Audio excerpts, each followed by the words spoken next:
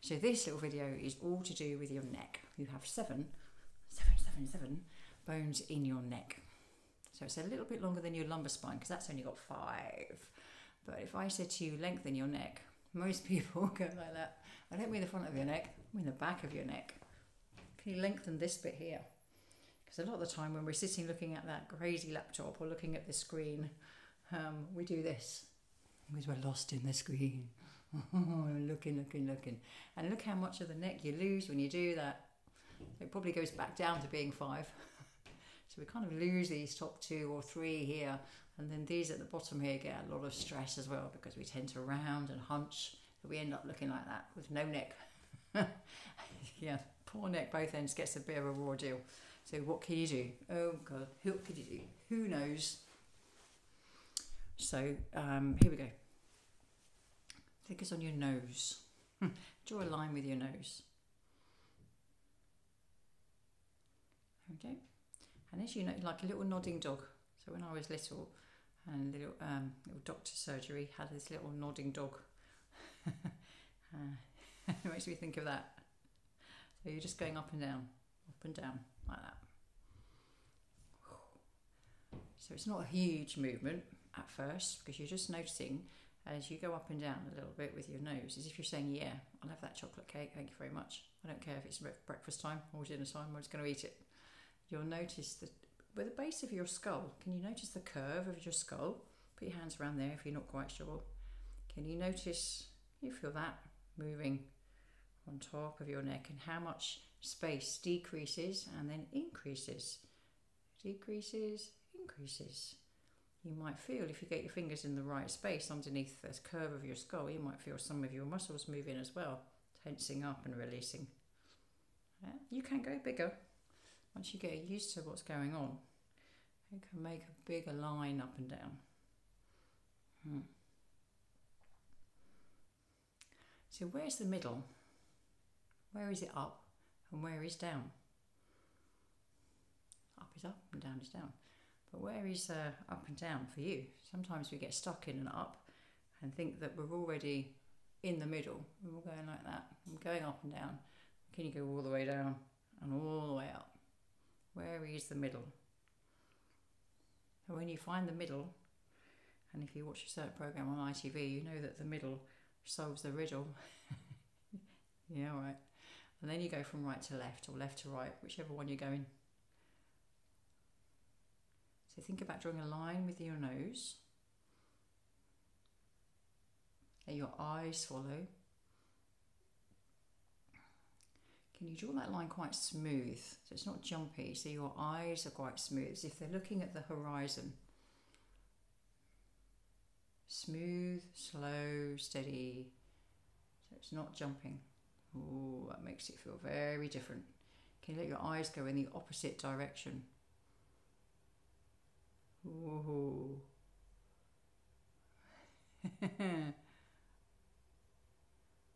Can you do this without your chin poking forward so you're not creating this shortness in the back of your neck?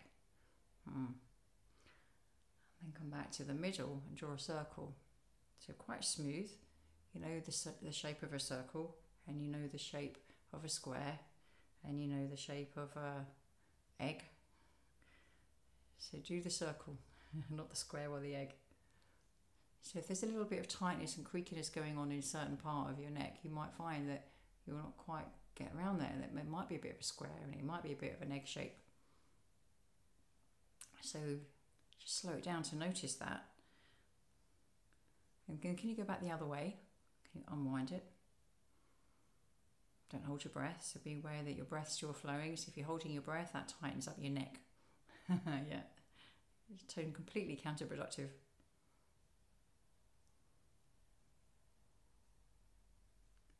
You notice the back of the head is drawing a circle on the wall behind you. Yeah. There you go. So three simple, easy, too easy really. You think that's not going to work. but your neck, if I show you from this amazing Thomas Myers work, the fascia, this is blue stuff. It's not really blue, but in the body, it's just to show you, to illustrate you, to you to see that this is what it looks like this is the trains that it runs on the back line. There's your neck going into the back of your head. Obviously, it affects what's going on here and affects what's going on down here in the back of your pelvis, but also affects the amazing hamstrings and your calves and the back of your feet. So if your neck's a little bit like ooh, forward on the you know on the computer or whatever it is you're doing, um, it can. If you've got tight hamstrings and you've been stretching your hamstrings forever and a day, and who hasn't really? Maybe it's not your hamstrings that are the problem. Maybe you'll have to ask your hamstrings, why are you doing that? Why are you always tight? I've been stretching you forever. You know, don't you get the hint? Maybe your hamstrings are thinking, yeah, you know, I'd like to let go. I'm a bit tired of being tight, but you know what? I can't do it because your neck's out there and you're kind of tightening up the fascia here. So it's kind of like you're pulling the string and it's kind of too tight up here. So let's go, let's let's do some work on the neck and we might actually find that we can let go of everything else that's going downstream of that back line of fascia. Hmm. What a thought. Right, so one more I'm going to leave you with. Find your collarbone. Obviously you've got two. There's a little indentation in the middle here. So find your collarbone and use the pads of your fingers to just slightly from your collarbone pull the skin as if it's going towards your armpits. You're not going straight down, you're going on a diagonal. And let your head go in the opposite direction. Do what? Pull it in the direction of your armpit, diagonal, and your head goes in the opposite direction. Right, so your ear is going towards your shoulder. So your chin is towards your fingertips. Yeah, down there.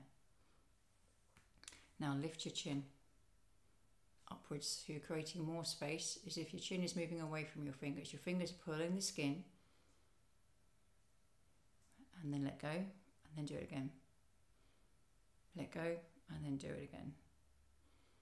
Let go, and do it again. Now you're going to stay there. You're going to stay lifted with your chin, and then turn your nose towards the ceiling. You're still pulling with your fingers, but you're holding it there with your fingers. Make sure your opposite shoulder is down, so you're not hiking up towards your ear. So your chin is now towards the ceiling, your face is towards the ceiling, and you're still gently pulling the skin from your collarbone. If it feels out, you can let go and pull again. So you create this length here.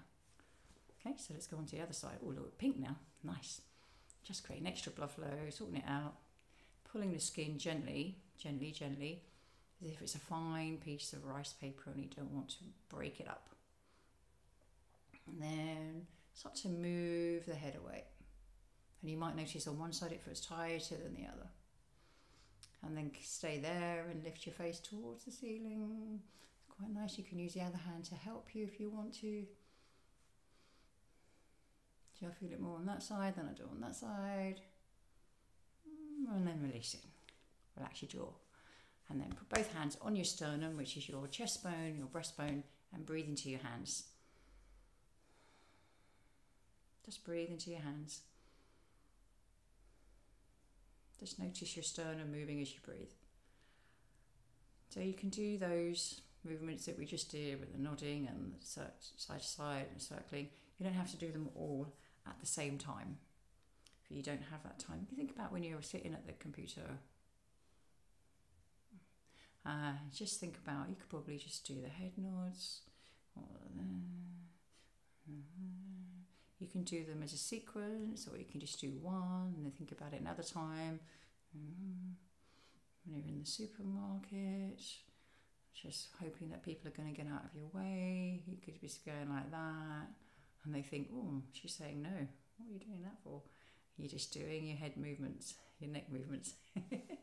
So obviously your breath affects your neck as well. So nice breathing here. Opening up the chest, opening up your ribs. There you go. Simple neck exercises. Happy practicing.